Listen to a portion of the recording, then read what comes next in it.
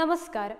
കേരള മനസാക്ഷിയെ ഞെട്ടിച്ച കേസിൽ പ്രതി സൂരജിന് ഇരട്ട ജീവപര്യന്തം തടവും അഞ്ചു ലക്ഷം രൂപ പിഴയുമാണ് കോടതി വിധിച്ചത്. അപൂർവങ്ങളിൽ അപൂർവമായ കേസാണെന്ന പ്രോസിക്യൂഷന്റെ വാദം അംഗീകരിച്ചാണ് കോടതി ശിക്ഷ വിധിച്ചത്. വീട്ടിലെ കിടപ്പുമുറിയിൽ മൂർഖൻ പാമ്പിന്റെ കടിയേറ്റ് മരിച്ച നിലയിലാണ് ഉത്രയെ കണ്ടെത്തിയത്.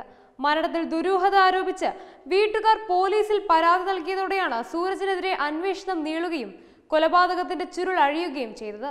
രാജ്യത്തെ കുറ്റാന്വേഷണ ചരിത്രത്തിൽ തന്നെ സവിശേഷ പ്രാധാന്യമുള്ള കേസായാണ് ഉത്ര കേസ് ഇപ്പോൾ പരിഗണിക്കപ്പെടുന്നത്. ഐ പി എസ് ട്രെയിനിങ്ങിന്റെ ഭാഗമായി പഠിക്കാനുള്ള കേസുകളിൽ അതിന്റെ പട്ടികയിൽ ഉത്ര കേസുമുണ്ട്. രണ്ടായിരത്തി പതിനെട്ടിൽ വിവാഹം കഴിച്ച ഉത്രയെ രണ്ടായിരത്തി ഇരുപതിൽ സൂരജ് കൊലപ്പെടുത്തുകയായിരുന്നു. കേസിൽ കേട്ടുകേൾവിയില്ലാത്തതും ഞെട്ടിക്കുന്നതുമായ വിവരങ്ങളാണ് അന്വേഷണത്തിന്റെ ഓരോ ഘട്ടത്തിലും പുറത്തു വന്നുകൊണ്ടിരുന്നത് ഉത്ര കേസിൽ ആദ്യം രണ്ടാം പ്രതിയും പിന്നീട് മാപ്പുസാക്ഷിയുമായ ആളാണ് ചാവരുകാവ് സുരേഷ്. കേസിലെ ഏക സാക്ഷിയാണ് സുരേഷ്. ഇയാളുടെ പക്കൽ നിന്നാണ് സൂരജ് പാമ്പുകളെ വാങ്ങിയത്. തന്നെയും കുടുംബത്തെയും ഇല്ലാതാക്കുമെന്ന് സൂരജ് ഭീഷണിപ്പെടുത്തിയിരുന്നതായി സുരേഷ് പറയുന്നു. സുരേഷിന്റെ വാക്കുകൾ ഇങ്ങനെയാണ്. ഒരച്ഛൻ എന്ന നിലയിൽ കുറ്റബോധം തോന്നുന്നുണ്ട്. സമൂഹത്തിൽ ഒരു കുട്ടിക്കും ഇത് സംഭവിക്കാൻ പാടില്ല. തന്റെ നിരപരാധിത്വം ദൈവത്തിന് തുല്യം താൻ കാണുന്ന കോടതിയിൽ തെളിയിക്കാൻ സാധിച്ചു. സത്യസന്ധമായി മൊഴി കൊടുക്കാൻ സാധിച്ചു. സൂരജിൽ നിന്ന് തനിക്ക് ഒരുപാട് ഭീഷണികൾ ഉണ്ടായിരുന്നുവെന്ന് സുരേഷ് പറയുന്നു. തന്നെയും തന്റെ കുടുംബത്തെയും വകവരുത്തും എന്ന് സൂരജ് ഭീഷണിപ്പെടുത്തിയിരുന്നു.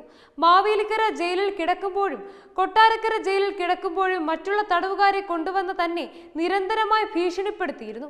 കുളിക്കാനിറങ്ങുമ്പോഴും ആഹാരം കഴിക്കാൻ ഇറങ്ങുമ്പോഴുമൊക്കെ തന്നെ ഭീഷണിപ്പെടുത്തുമായിരുന്നു.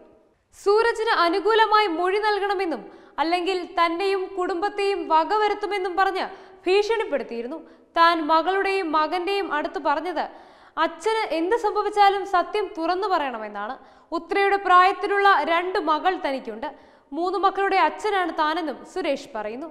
ആ മിണ്ടാപ്രാണിയെ കൊണ്ട് ഈ ദുര്യോഗം ചെയ്ത് അവന് ദൈവം കൊടുത്ത ശിക്ഷയാണ്. ദൈവത്തിന് മുന്നിൽ എല്ലാ ദിവസവും പ്രാർത്ഥിച്ചു കൊണ്ടിരിക്കുകയാണ്. ഉത്രയുടെ അമ്മയുടെയും അച്ഛന്റെയും സഹോദരന്റെയും കാൽ പിടിച്ച് തനിക്ക് മാപ്പ് ചോദിക്കണം. ഒരച്ഛൻ എന്ന നിലയിൽ തനിക്ക് മാനസിക വിഷമമുണ്ടെന്നും സുരേഷ് കൂട്ടിച്ചേർത്തു. സൂരജിന് വധശിക്ഷ കൊടുക്കണമെന്നാണ് കരുതുന്നത്. സമൂഹത്തിൽ ഇനി ഇതുപോലെ ഒരു സംഭവം ഉണ്ടാകരുത്. പത്തു മാസം ചുവന്ന് പ്രസവിച്ച ഒരു അമ്മയുടെ മകനാണ് താനും.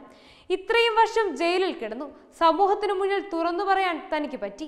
നന്ദി പറയാനുള്ളത് മാധ്യമങ്ങളോടാണ്. മൂന്ന് കേസുകളിൽ വിചാരണ നേരിടുകയാണ്. ആ കേസുകളുമായാണ് ഇപ്പോൾ മുന്നോട്ട് പോകുന്നത്. തന്റെ വീട് വളരെ ബുദ്ധിമുട്ടിയാണ് മുന്നോട്ട് പോകുന്നത്. റേഷൻ കിട്ടുന്നത് കഴിച്ചു കിടക്കുന്നു. അനാഥാലയം പോലെയായിരുന്നു വീട്. പൂജപ്പുര ജയിലിൽ നിന്ന് ഇറങ്ങിയപ്പോൾ ജോലി ചെയ്ത വകയിൽ നാലായിരത്തി എഴുന്നൂറ്റി മുപ്പത് രൂപ കിട്ടി. അതുകൊണ്ട് വീട്ടിലെ സാധനങ്ങൾ വാങ്ങാൻ പറ്റി. കഴിഞ്ഞ ദിവസമാണ് ജയിലിൽ നിന്ന് റിലീസായതെന്നും സുരേഷ് പറഞ്ഞു. വെബ് ഡെസ്ക് தத்துவ news